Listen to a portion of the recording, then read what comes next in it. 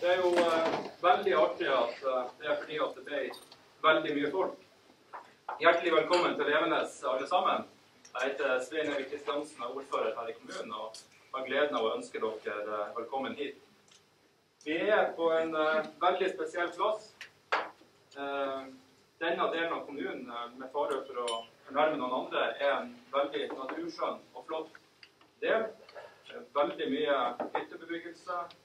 Og som man ser når man kjører hit, eh, de som bor her i lag med de som har hytte, har gjort en strålende jobb eh, og gjort det fint rundt seg. Det er benker, furbenker, det er høyt, og det er lagt godt til rette for å ha det trivelig. Senteret her har vært her i ca. 45 år. En viktig arbeidsplass. Ca. 15 arbeidsplasser. Viktig for kommunen. Men uh, som vi skal få høre snart, er enda viktigere for de som har det tilbudet her. Mye mye av det som uh, har foregått her oppe gjennom tida, har vært uh, danna et grunnlag nasjonalt for uh, tilpasning eh, og det å klare seg på egen hånd, selv om man får noen utfordringer. Det skal vi få høre litt om. Men det er, som det var en kar som sa her i sted, dette er skjult, en skjult skatt, og det er det absolutt. Eh, over 5000 overnattinger i året. Det er ganske betydelig. Og så, og så tar jeg med en frihet. Vi er jo her for å bl.a. diskutere litt eh, kommunestruktur og få en utredning. Og da skal jeg ta meg den frihet å bruke Elisabeth, som er leder her på senteret, eh, som et eksempel. Oldemora til hun Elisabeth kom fra Ballangen til Evenes for ca. 115-20 år siden. 1906, nei, 1912 kom de. 102 år. Da kom de til Evenes. Bodde på en plass som heter Osmarka. Der er jeg også fra. Eh, hun flytta tilbake til Ballangen og eh, ble boende der. Sånn var det for eh, 100 år siden. Del av Evenes. Og så kjenner vi til hele biten som har skjedd opp igjennom med utskilling av Ankenes, utskilling av Ballangen osv. Men Elisabeth hun bor i dag i Skånland, har familie i Ballangen, jobber i Evenes. Og det danner litt av grunnlaget for at vi har en, en diskusjon om kommunereform i Norge i dag. Elisabeth, da skal du få lov å presentere hvem du har sammen med deg, og litt om eh, den plassen vi er på. Vær så god. Eh, velkommen til Evenes Syn- og mestringssenter. Og jeg setter veldig pris på at dere velger senteret her som en arena for eh, deres møte og samarbeid. Eh, altså rapporten som skal fremlegges i dag. Det kom jo veldig mange. Altså I utgangspunktet så var vi forberedt kanskje sånn 20-25, og så, så rulla det litt på seg. Så jeg håper at lokale egner seg for møtet dere skal ha. Jeg har med meg Martin, og jeg tenkte at vi gir ordet først til dem. Jeg heter Martin Haugen, kommer fra Asse, nærmere bestemt Strømstad, og er 90 år. Og jeg bor alene, men har noe hjelp. Og så er jeg så heldig jeg komme hit til Evenes. Flere ganger for året, og det gir inspirasjon til meg, så jeg føler det at jeg, jeg, jeg kan være alene. Et tak i tida før jeg jeg ble synshemma, det var ikke så greit. Altså, hva tilfeldigheter var den at jeg komme hit og så de blinde og svaksynte, for de klara seg. Og jeg fikk et helt nytt livssyn. Og på det har jeg lagt mitt grunnlag og kan bo alene. Jeg er sikker på det jeg står her. Hvis ikke jeg hadde kommet til Evenes, så har jeg fått som en brunost borti Grove Nasen kommune. Det er jeg helt sikker på. Jeg takker være senteret, og jeg treffer gode venner. Og er det noe jeg tviler på, så hjelper de meg på alle vis. Det med lese-TV, mobiltelefon, Uansett hva jeg kommer med, så hjelper de meg her. Og ja, har jeg et problem, så går jeg ganske til ei her og får hjelp. Så jeg er veldig takknemlig for å få være her. Og jeg håper bare det at det er mange som søker etter seg. Takk.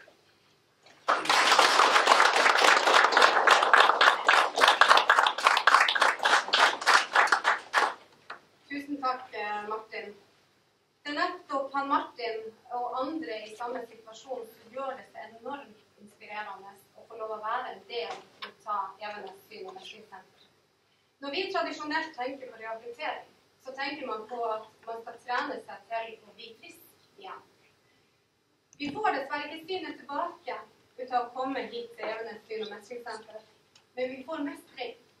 Vi lærer oss kompenserende ferdigheter Nettopp som Martin lærer seg å bruke lese-TV, sånn at han kan betale regningene sjøl. Lese selv.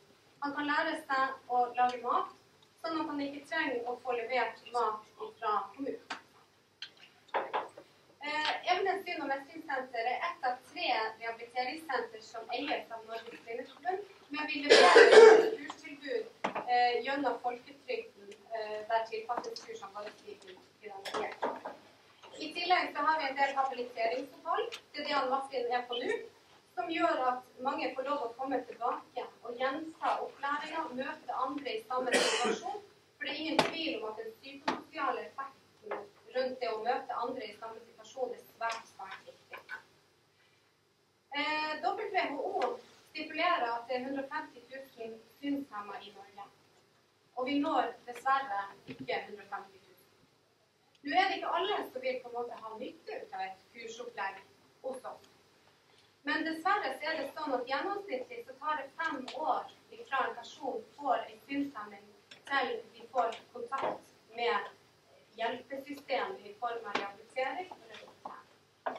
Det gjør at gjennom de fem årene har folk slutta å lage middag sjøl. De har slutta å gjøre håndarbeid. De har blitt inaktive de kanskje får helseplager fordi at de ikke går lenger eller er ute i aktivitet. Eller i verste tilfelle så har de mista jobben og den uføretrygda. Eh, for min egen del Jeg kommer jo fra barnehagen, da, som dere hører. Jeg var eh, 12-16 år, tror jeg, da jeg fikk diagnosen min. Der på en måte eh, en øyelege på sykehuset i Bodø kom inn der jeg og min mor satt, og sa at hun har øyesykdommen sånn og sånn og kommer til å bli blind. Så dro vi hjem. Mer var det ikke. Og dessverre så er det ikke mer i dag heller. Det finnes ingen rutiner rundt henvisning f.eks. videre. Det er ingen, ingen plasser vi får fanga opp, men vi må være litt sånn detektiver. Og så må vi være veldig nært samarbeid med synskontaktene i kommunene, koordinere med tjenester, for å på en måte nå ut med informasjon om tilbudet våre til de som og det er nettopp der samarbeidet med dere og det at dere på en måte bruker oss, som er veldig viktig for at ikke folk skal bli inaktive, folk skal slutte å leve livet sitt og begynne å bruke veldig mye kommunale tjenester som er fullstendig unødvendig. Jeg sier ikke at blinde og svaksynte ikke trenger kommunale tjenester, men vi trenger det ingenting som sier at synshemma skal være en byrde for samfunnet. Hvis ikke jeg den gangen da for mange, mange år siden hadde kommet i kontakt med rehabiliteringsavdelinga som vi har her på huset fra Nord-Norge. Der jeg på en måte knytta opp mot andre blinde og svaksynte. Der jeg hadde fått komme på kurs. Jeg fikk se at. Første gang jeg var på et opphold i regi av, av Vang Norges Blindeforbund, så tenkte jeg at nå skal jeg her og se om blinde funker. Eh, og det gjorde jeg. Eh, det var eneste motivasjonen min. For da var jeg helt eh, normal jente på skolen i Ballangen. Eh, og den eneste i Ballangen kommune jeg kunne kjenne meg igjen i forhold til synshemming, var ei gammel dame som brukte hvitstoff, og som bodde bak Akershjem. Og som da ei ung jente, så var det veldig vanskelig føle seg unormal. Så det å komme i kontakt med andre, det å få opplæring i alt fra hvordan skal jeg bruke datamaskinen når jeg ikke ser skjermen? Hvordan skal jeg klare å ferdes ute i samfunnet? Det er avgjørende for at jeg kan jobbe i 100 stilling, for at jeg kan ha barn, at jeg kan være politisk aktiv, osv. osv. Eh, så jeg vil jo selvfølgelig sende dere og det er det at nå har vi litt kvart tid, så vi skal ikke dra det så veldig langt ut. Men ta med dere informasjon om den lille perla som er her. Om all mestring og glede som et liv kan skape selv. I stedet for å bli inaktiv og holdt på å si, eller utgift fra kommunen, så kan faktisk folk få lov å leve aktivt. Gi informasjon til dere skyldkontakter. Gi dem spillerom som de har mulighet til å bruke tid på de som ser dårlig fra motivere dem til å dra på kurs. Eh, opprett koordinerende enheter, sånn at rehabiliteringa Noe god rehabilitering kan gjøres på hjemsted, men dette er snakk om helhetlig rehabilitering som går over mange måneder. Eh, dere vil finne en del informasjon og brosjyremateriell om oss og om eh, rehabiliteringstilbudet som vi har eh, i regi eller som eies av Norges.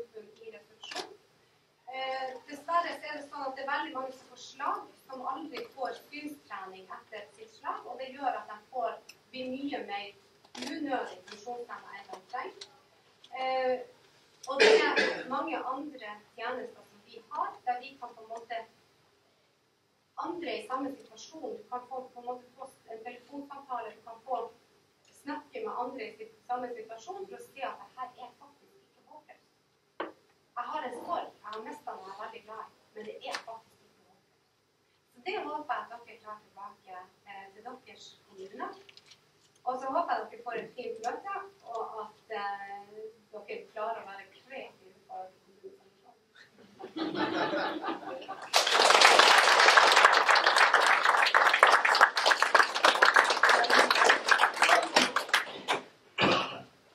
Vi er- vi er sammen. Ja, nei, ja. Ja.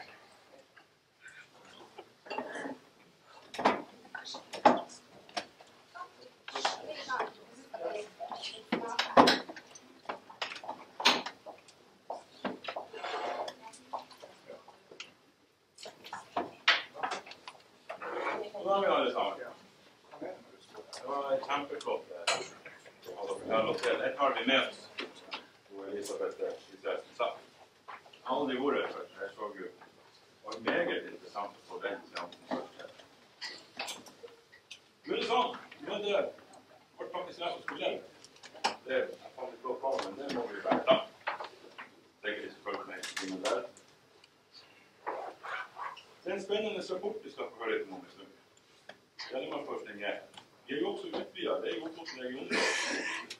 I Kveikland. Og så har vi også fått eh, litt besøk her. Det er en mann fra Gratlangen her. Velkommen. Og så er det Lavangen her. Velkommen til dere òg. Veldig flott at dere er på en del i det her. Men ikke minst så har vi også fylkesmannen her. Finn Marta Solberg. Og så har vi han rådgiver Robert Isaksen. Han traff det for noen dager siden egentlig i Bodø. Det er kanskje litt av det samme vi skal få høre om nå. Da tror vi gjør det sånn at det gir vi dere ordet. Så vær så god, så er vi spent på hva dere har å fortelle oss.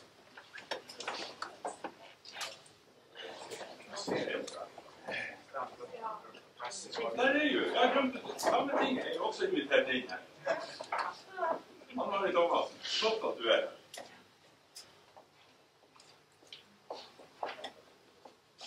Skal du ødelegge alt for oss? Ja.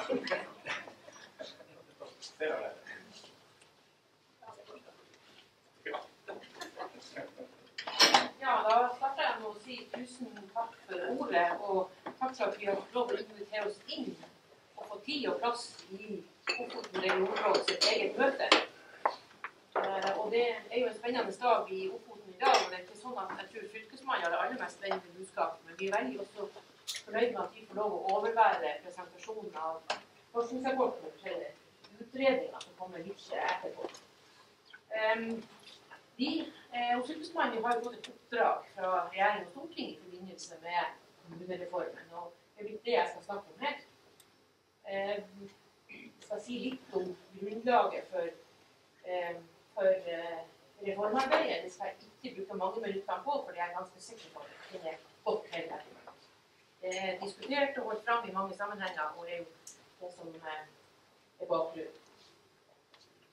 Så er det jo kjempespennende når vi er i et sånt grenseland som vi er her, at eh, her er også kommuner til stede fra andre sida av fylkesgrensene. Det illustrerer jo et veldig viktig element i denne reformen, nemlig at fylkesgrensene skal ikke være noe hinder i arbeidet med kommunereformen. Det har vært sagt helt tydelig fra regjering og storting.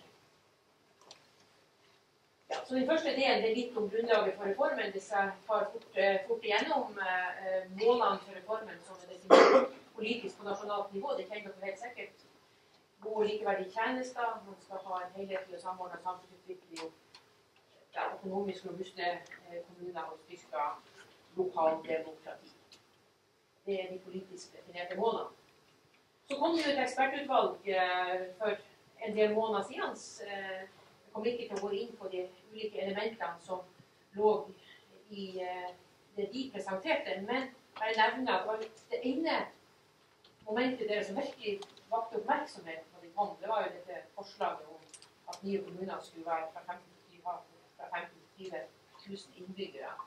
Det kjenner jo til at det ikke lenger er, er en del av, av eh, målsettingen for reformen. Det, har jo man, det er jo blitt politisk eh, justert. Men dette ekspertutvalget lager noen viktige premisser, og de er jo tatt videre i den politiske prosessen både av regjeringa og inn i stortingsproposisjonen. Ja, den her vanskelige tidslinja bruker å si det hver gang avisen. Det er ikke, det er ikke Fylkesmannen som har laga den, det er departementet. De bruker ikke lage så vanskelige greier som det her. Men eh, den, den viser den tidslinja som man har tenkt for denne reformen. Og eh, det som er kjernen, syns jeg, å fokusere på, det er jo den tida som kommunene er for å gjøre kommunale vedtak. Ja, det går fram til mai 2016. Det høres kanskje litt lenger ut, men det er ikke så lang tid til mai 2016. For det er store ting som kommunene skal gjennom i, det her, eh, i dette reformarbeidet. Det er ingen tvil om. Og de som er, eh, er da først ute her og gjør tidligst vedtak, de kan jo oppnå eh, beslutning om sammenslåing gjennom kongelig resolusjon allerede i mai 2016. Da kan kommuner være sammenslått fra 2018. De som kommer deretter, der går det jo fire nye år. og? Da er den reelle sammenslåinga på plass i 2020. Dveler ikke lenger ved det.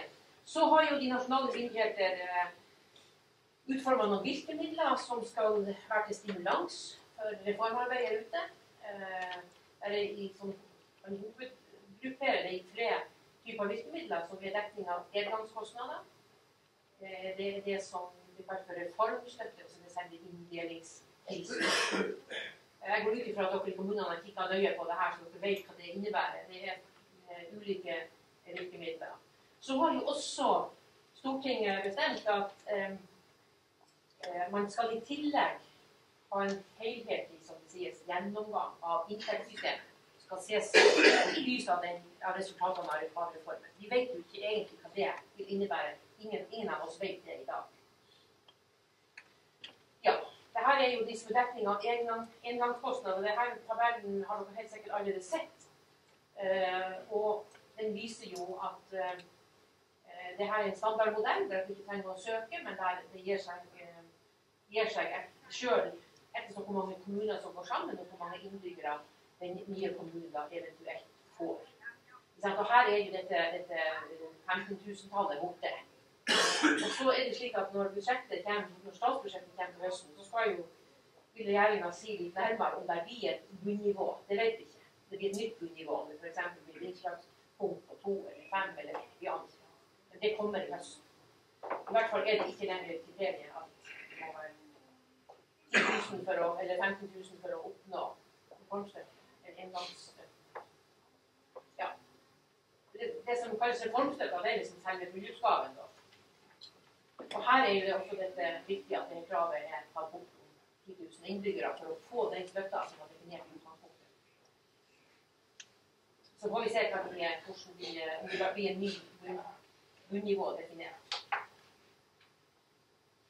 Eh, Nå har jeg med noe som jeg helt uleser her, herifra. Altså det, vanligvis vi samarbeider mye med KS.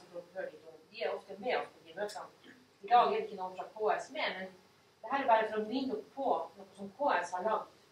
Som dere finner på KS sine hjemmesider. Fordi KS har lagd en, en, eh, et system der dere rett og slett bare ved å taste inn kommunenumrene, så får dere ut svaret på hvordan de økonomiske virkemidlene virker. Dette ligger på KS sin hjemmeside. Og her er det bare å touche inn kommunenummeret, og så får dere svaret. To kommuner, tre kommuner, fem kommuner, og hvilke kommuner med riktig kommunenummer, så kommer eh, svaret. Så det er jo et, et hjelpemiddel i eh, arbeidet for å få oversikt. Ja, og inndelingstilskuddet, det som det står her, det skal jo dekke bortfall av noen andre tilskudd eh, over en periode på 20 år. Ja. Så er det litt om noen organisering og verktøy som er lagt inn i denne reformen. Som vi var innom i sted, så er de regionale prosessene tenkt å gå i hovedsak i 20, fra 2014, der vi er nå, og fram til i 2016. Det er jo da man ser for seg at de aller fleste kommunene skal ha gjort sine vurderinger, eh, fått involvert befolkninga, fått gjort kommunale vedtak osv. Hos Fylkesmannen så har vi da fått ansvaret for igangsetting. Og vi får ressurser til å ansette en egen prosessveileder. Det er vi i ferd med å gjøre i løpet av kort tid nå hos oss. Eh, og ellers eh, er det jo slik at vi fra ledelsen i embetet, embetsledelsen som er meg og Olav Gjerkås som er assisterende fylkesmann, eh, vi kommer til å jobbe veldig tett på kommunene med mye meddelelse. Hele veien med oss i arbeidet skal også han Robert Isaksen være, som er ansatt på kommunalavdelinga oss. Og mange av dere har truffet eh, ved flere anledninger. Så i tillegg til den prosessveilederen som tilsettes, så vil vi ha et sterkt fokus på, på eh, reformen. Så er det jo den saken her da, som kom i, i, i proposisjonen om at kommunene måtte gå til fylkesmennene for å få godkjenning av låneopptak nå i forkant av, av reformarbeidet. Og det i forbindelse med prosessen og hva vi skal si, hensikten med det. Robert? Jeg kan bare nevne at jeg har kontakt med departementet. Ja. Om det kommer i forbindelse med, med statsbudsjettet, det er ikke klart ennå. Sånn vi, det har vært ute på høring, men, men det er ikke bestemt. Så vi vet ennå ikke helt hvordan det blir. Men eh, formålet med tanken bak det er jo selvfølgelig det at ikke noen skal gjøre noen lynraske store investeringer for å bruke pengene før de skal gifte seg, for å si det sånn. Ja. Man skal svi av. Men eh, et system som skal i Nordland lov at vi skal eh, få til en smidig og enkel prosess for for. Så har vi jo sagt fra nasjonale myndigheter at vi skal samarbeide ute i regionene, Fylkesmannen og KS. Og det gjør vi i Nordland. Vi har etablert et godt samarbeid. Eh, og det, har, det, det, fungerer, det godt. Så er noen viktige ting som skal komme fra departementet, som ikke enda foreligger. Min mening er at det burde vært her nå, men det er det ikke det. Men det skal komme i løpet av denne måneden, har de lovt. Eh, For det første skal de komme med en, en, en standardmodell på faktaoppsett som skal, alle kommunene skal kunne gjøre seg bruk av. Og Departementet sier at det skal langt på vei erstatte behov for ytterligere nye utredninger. Det skal være en mal som dere skal kunne, ha bruke, kunne bruke i det videre arbeidet. Så skal de også eh, utforme en modell for spørreundersøkelser. Det er sånn for å involvere innbyggere. Innbyggerundersøkelsen. Eh, og den er ganske viktig, for det er jo et kjempeviktig element i denne reformen at her må jo innbyggerne involveres i prosessen. Og dere får altså et redskap, et hjelpemiddel fra departementet om kort tid på hvordan det kan gjøres. Eh, så skal de også lage en veileder. Eh, og det er jo det er en slags sånn dreiebok, et forslag. Eh, Hva, hva er det nå alt vi som kommune må gjøre for eh, at det her skal vi skal komme gjennom alle de viktige tingene vi må gjennomgå når vi skal vurdere mulige kommunesammenslåinger. Så den veilederen tenker jeg vil være utrolig viktig for dere når den, når den nå foreligger om kort tid, og vil være god støtte. Så alle de her tingene som departementet nå jobber med å, med å fullføre og sluttføre, er viktige elementer som skal være til hjelp for kommunene. Ja, nå er jeg på del to. Nå skal jeg snakke litt mer i Nordland. Ja, det her er jo sånn det må være. Det her er jo mange tannhjul som fungerer sammen. Og det store oppi det her, det er jo kommunene. det er veldig viktig for meg å understreke at selv om Fylkesmannen har fått en prosessveilederrolle, så er det, skal det være kommunen bedre. Skal ikke drive prosessen for dere. Eh, det skal dere gjøre sjøl. Eh, men vi skal støtte opp, vi skal bistå dere eh, på, ulike måter, men det skal være kommunedelt. Så vi er ikke med oss noen nye kommunekart. Det kan er ikke undertegnekart. Eh, Det som En av viktige ting i det oppdraget som vi har fått, som jeg må påpeke for dere, det er at alle kommunene har fått et utredningsansvar her. Veldig tydelig. Så eh, jeg bruker litt spøkefullt å si det at det går ikke an seg ned og håpe at når jeg kommer opp igjen, så er det gått over. Det er, det, man må, eh, alle kommunene må inn og vurdere hva skal, hva skal vi gjøre, hva er tjenlig for oss eh, for framtida. Og vi skal jo være med å koordinere og tilrettelegge i sånne prosesser, og som har nevnt prosessveilederen. Og så er det også slik at vi har fått i oppgave at vi skal oppsummere en vurdering av prosessene i eget fylke på tampen av, av prosessen. Det tenker jeg kan bli spennende. Ja. Eh, jeg vil kanskje også nevne her at det er jo eh, det som ligger med, med ansvaret for kommunene her for å ta tak i dette, det er jo et ansvar som både tilligger den politiske ledelsen i kommunen, men selvfølgelig også rådmennene, som er de som har utredningsansvaret eh, i egen kommune. Ja. Vi organiserer oss slik. Vi har lagd en arbeidsgruppe hos FMNO, det er også fylkesmannen i Nordland og KS. Eh, så har vi invitert til en ressursgruppe der vi vil ha flere med oss. Der har KS bestemt at det skal være to, eh, to ordførere og en rådmann inni den.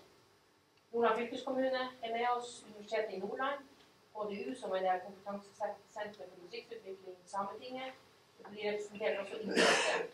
Så har vi fortsatt litt til om vi skal på en eller annen måte også trekke næringslivets eh, aktører inn i den ressursgruppa. som vi trenger å ha med oss i arbeidet. Ja.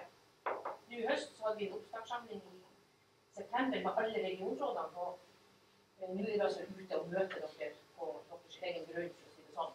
Eh, Det, bare for det er litt viktig for meg å si hvorfor vi har valgt å, å starte med å snakke med regionrådene. Det er jo rett og slett fordi at nesten alle regionrådene i Nordland nesten, eh, har beslutta å sette i gang utredninger. Så, så, og regionrådene er jo det politiske nivået for samarbeidet på. Så det har vært naturlig for oss å starte der for å få oversikt over hva tenker kommunene, hva tenker regionene, eh, og hva forteller disse utredningene som etter hvert vil komme. I dag får vi vel en, en av de første. Så er det åpenbart at vi skal samarbeide med enkeltkommuner. Vi, har, vi driver på og skal få god oversikt over aktørene i lokale prosesser. Eh, og det er derfor vi er, vi er ute. Så det er viktig for oss å informere om og hva som er, er vår rolle, og også hva som er Helbud sammen med, med KS. Når vi nå er ute i de regionale møtene sånn som her, så er det også anledning for å få høre litt mer om spesielle lokale problemstillinger. Og jeg synes som jeg sa i stad, det er spennende at, at her vi er nå, så får vi også litt uh, føling på dette med det fylkesgrenseproblematikken. Det er jo veldig klargjort at det ikke skal være noe hinder for nye kommunegrensa. Eh, ja. Det her er altså viktig. Jeg tror jo at dere har alt å tjene på å komme fort i gang. Denne gangperioden på to år, den midlene som er definert fra nasjonalt nivå i denne første perioden, og så vet vi ikke mer. Vi vet ikke hvordan det vil fungere etter at selve reformperioden er, er omme.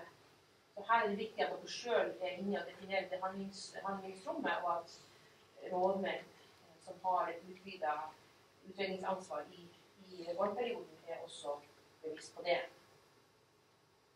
Og igjen, det skal være lokalt eierskap til de her prosessene. Noen problemstillinger i Nordland som vi ikke kommer utenom å snakke om når vi begynner å jobbe konkret i dette fylket, det er jo at eh, vi har en krevende geografi. Ikke sant? 44 kommuner, lange avstander, mange øykommuner. Eh, det er veldig omfattende interkommunale eierskapsstrukturer i, i Nordland. Også tilfellet i Ofoten. Eh, Dette kartet viser jo de, de sju eh, regionrådene vi har eh, i eh, Nordland. Og er noe jeg rimelig sikker på, så er det at nye kommunegrenser i Nordland vil ganske sikkert ikke være identiske med det her.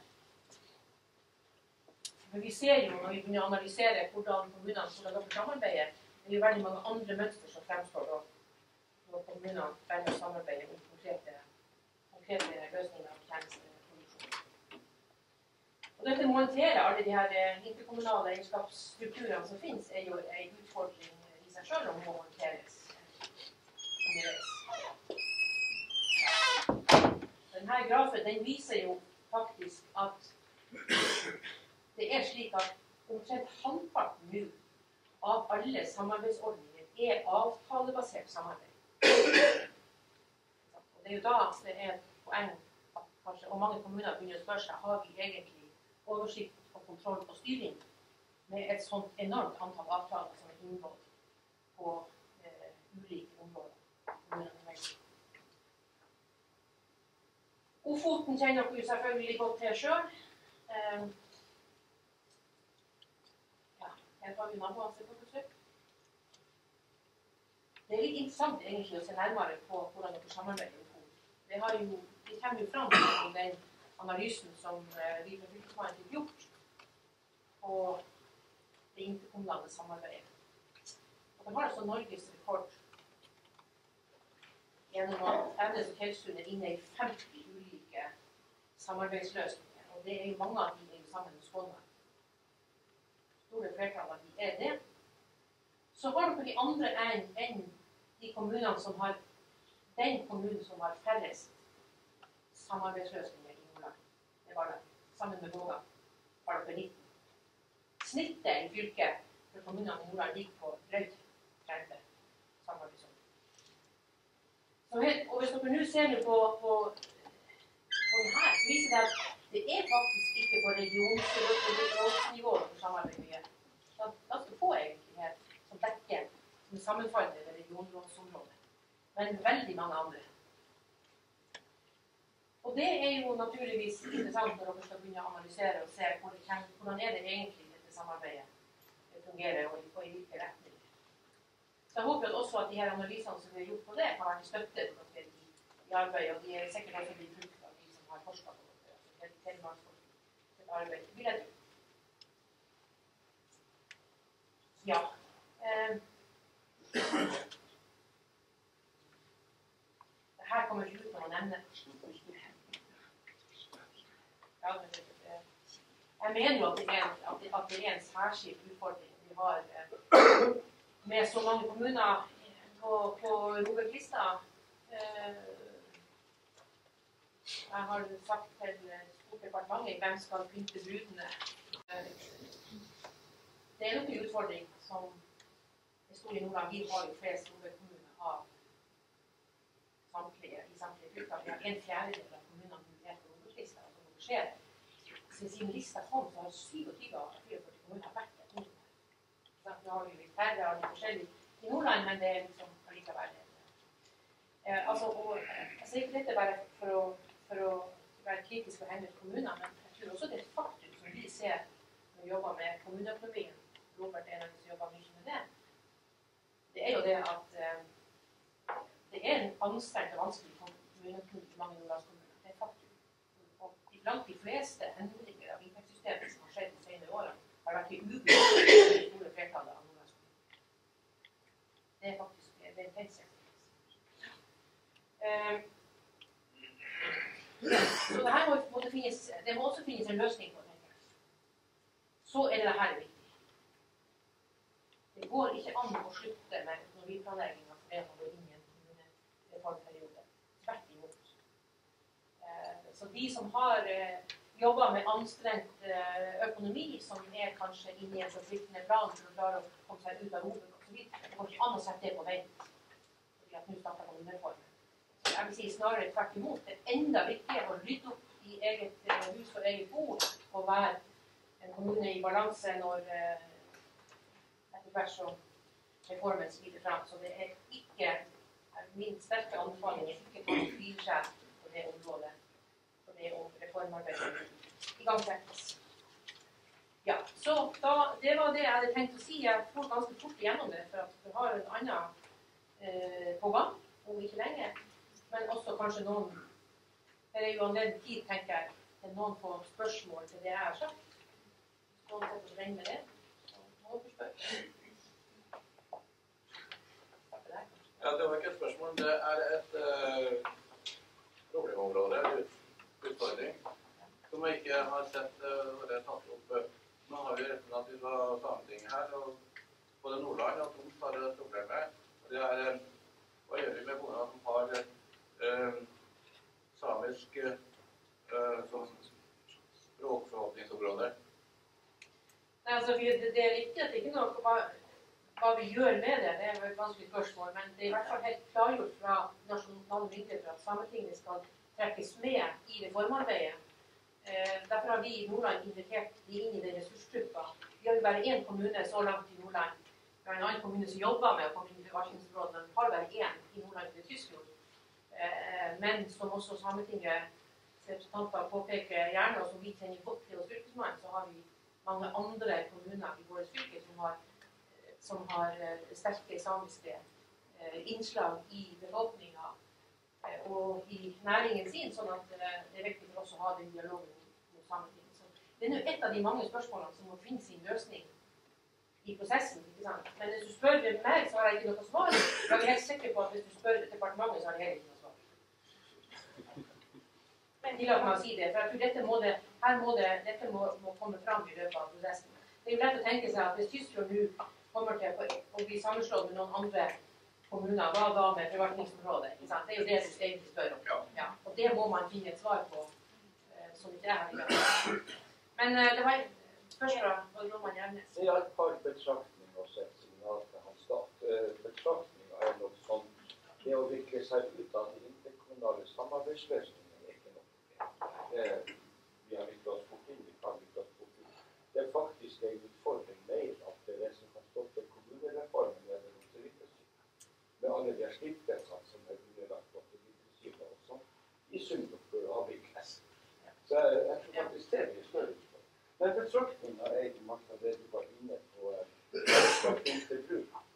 For det er klart Når vi kommer i en sånn realitetsfase Vi prater litt og tenker høyt og vi leker oss med. Når vi kommer inn i en sånn realitetsfase, så er det noen kommuner som er så forgjeves at naboen knapt vil, vil være med på. Og særlig neste fase, når staten henter storkurs, og kommune A blir dømt for å betale gjelda i kommune B. Så jeg tror staten også bør tenke på litt det du kaller for å bruker. Det, det bør inn på en eller annen måte. Og jeg tror det kan være et område som kan velte gode og framtidsretta kommunestrukturer. Så ta det med deg litt uh, i de statlige organene. For det vil komme når vi kommer inn i en sånn realitetsfase som vi begynne å snakke forpliktende.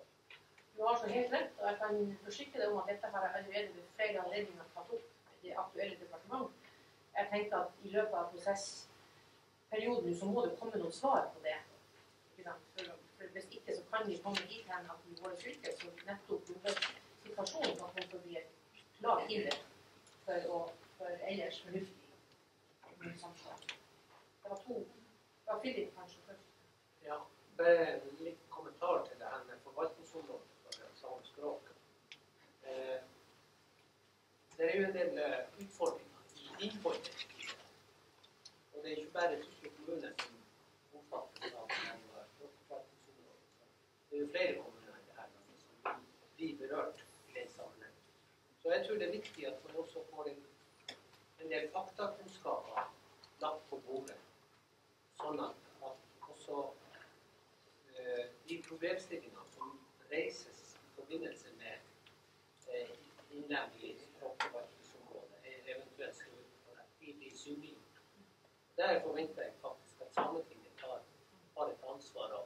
om det er nødvendig med en utredning, det, det, det skal jeg ikke si her iallfall fokus også på de som, det reiser. Helt klart. Kanskje, kanskje reise meg. Ja, eh, akkurat til det som Philip tok opp her, og, og som ordføreren i eh, eller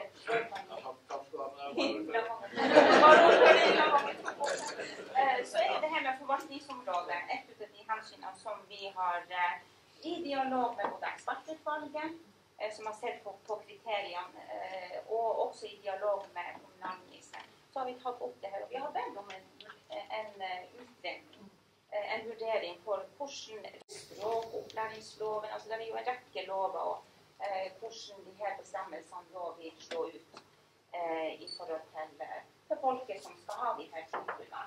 Eh, og det regner vi jo da med at, eh, at, den, eh, at den vurderinga gjøres. Departementet og, og Sametinget i, i samarbeid. Eh, en annen ting er jo også det at eh, de fleste kommunene her i dag har jo samisk befolkning. Eh, det er også et aspekt som, som også som man heller ikke glemmer. At altså den samiske befolkninga har et vern, særskilt vern gjennom Grunnloven. Og det er viktig at, det er viktig at de ikke usynliggjøres. Eh, det tilbudet som, som kommunene skal, eh, skal gi til eh, ja, gi sine, til sine innbyggere. Sånn at det er kjempeviktig at man også har høringer med den samiske befolkninga. Fylkesmannen var jo inne på det her med at det er mange OBEK-kommuner i Nordland. Og min mening om det er egentlig at det er egentlig helt unødvendig. Jeg tror mye av årsaken til det skyldes at eh, det er vanskelig økonomi, men man kan også gjøre noen grep for å komme unna den situasjonen. Altså, det, departementet har en utrolig tung altså Regnskapsprinsippet i kommunesektoren er så komplisert at man ikke bruker kapitalinntekter til å dekke f.eks. underskudd. Og jeg mener, Hvis man kan åpna for en viss Amor fylkesmann på nytt igjen at det er spørsmål om, og det har vi kanskje departementet på. Det pågår en diskusjon i helt noen kommuner, for å si det sånn. Det er et interessant foredrag. Utrolig interessant tema. Men eh, jeg spurte deg i sted før vi setter møte her med tanke på prosessen som vi går fremover både i kommunene og sikkert i området og på tvers av fylkeskommunene. Jeg ser for meg at det er et tema som vi kanskje jeg sier kanskje trenger bistand fra Fylkesmannen. Jeg tror det er sånn at eh, vi kan invitere dere inn eh, i denne prosesser. Både i kommunene og bistand.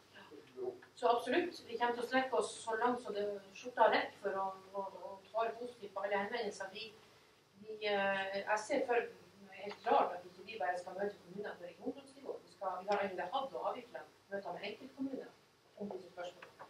Vi må ha det med grupper av kommuner. ser jeg for meg. Altså, det, det, det er det, startpunktet som er på regionrådsnivå. Mens jeg tror at mye av prosessen vil foregå i de andre mønstre etter hvert som, som tida går oppfølgingsspørsmål. Eh, Hvordan samarbeider Fylkesmannen i Nordland med Fylkesmannen i Troms? For her har vi jo akkurat eh, et sånt område som det er interessant, så vi ikke får så fragmentert.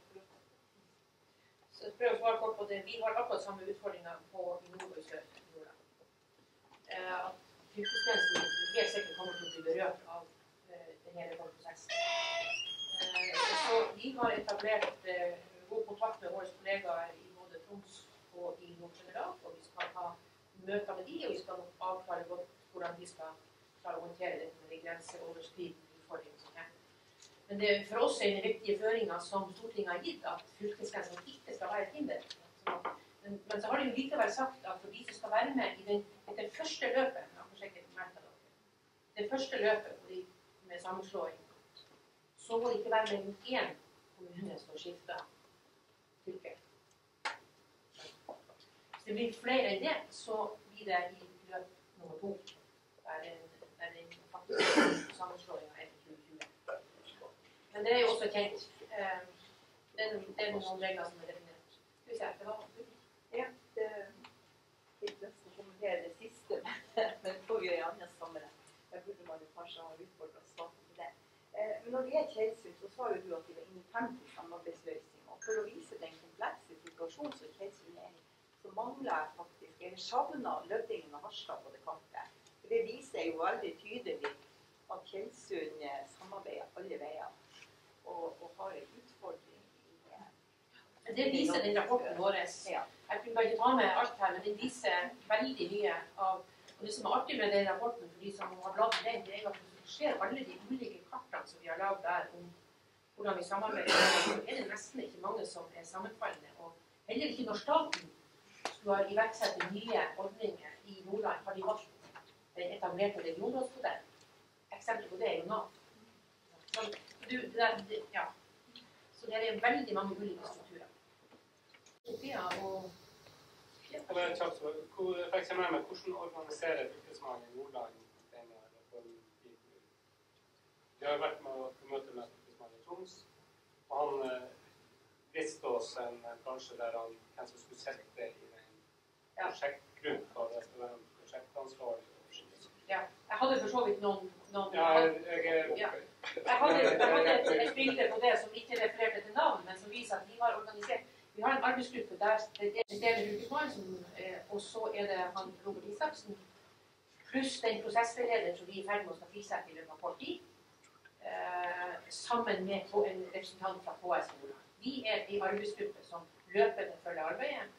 Og så etablerer vi en ressursgruppe som er en litt større gruppe, der vi må ha med oss noen viktige aktører som skal kunne gi oss innspill, og vi kan kunne diskutere saker med underveis. Og der skal det være flere kommuner representert. To eh, ordførere og en nordmann skal inn der. Der skal Universitetet i Nordland være med. Og der skal ja. Grunnen til at jeg spør, det er fordi at, eh, at eh, det som var sagt i det møtet vi hadde med våre fylkesmenn, var at hvor er kommunene i det? Fordi at den organiseringa de hadde lagt opp til, så var det, det var ikke noen ordfører. Det var ikke noe liksom, en kommunereform. Er kommunene en del av. Her ser du vår organisering. Fylkesmannen i Nordland og KS. KS er kommunene sin organisasjon. Vi er godt etablert i samarbeid. Ressursgruppa der er vi. Og KS her, de har nå allerede bestemt et styremøte hvem av deres folk, også både ordfører og rådmann, som skal inngå i den ressursgruppa. Det har vi nettopp fått beskjed om. Nordland fylkeskommune skal være med. Universitetet i Nordland. og det UDT kompetansesenteret for distriktsutvikling, Sametinget er invitert inn. Og så har vi ikke 100% avklart om vi skal også prøve å få inn representanter for organisasjoner i, i, i næringslivet inn i prosessen. Sånn, sånn skal det ha vi tenkt.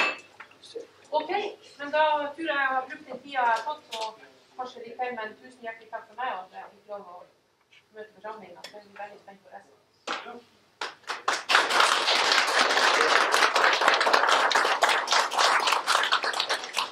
Si helt til slutt, det skal være det veldig lav terskel for å ta kontakt med oss om de her tingene.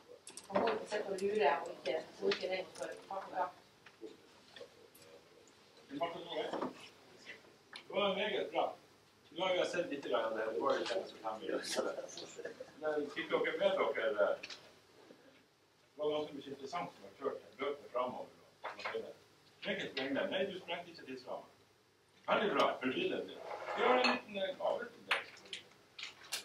Når jeg måtte skulle ta ned det her, så kan jeg, da skal vi nå heller ta en liten sånn ressurssak. Hele Tysfjord kommunes historie fra 1869 og framover. Et sammensatt fellesskap. Ha det med deg, Nasik. Vær så god. Tusen takk.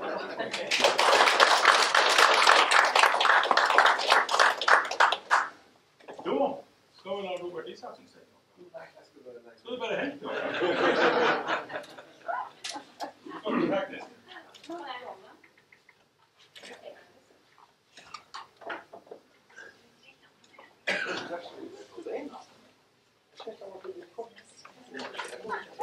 Skal vi gå? Nei, vi kjører videre. Jeg nevnte vel det at vi skulle ha en eh, nå